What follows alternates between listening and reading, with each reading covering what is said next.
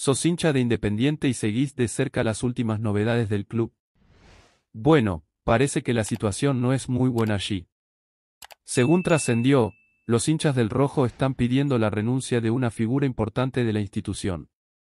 Mientras tanto, no te olvides de suscribirte a nuestro canal para estar al tanto de todas las novedades de nuestro Rey de Copas. En Independiente comienzan a impacientarse y ya piden por la renuncia de una importante figura de la institución. ¿Qué hará Néstor Grindetti?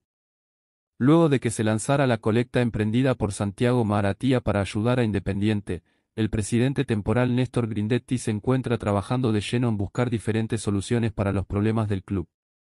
En ese aspecto, los hinchas del Rojo dejaron un importante mensaje a una de las principales figuras que trabaja con Grindetti en la institución, pidiendo por su renuncia. Hablamos de Pablo Caballero. Para los hinchas de Independiente, el manager es uno de los apuntados por este mal momento institucional, donde principalmente el reclamo de los simpatizantes pasa por su gestión en el último mercado de pases del club. Ándate, Caballero, revela el cartel que fue colgado en la intersección de las calles Alcina y Pastoriza de la ciudad de Avellaneda, en una de las entradas de la cancha de Independiente. El hincha del rojo no perdona al manager.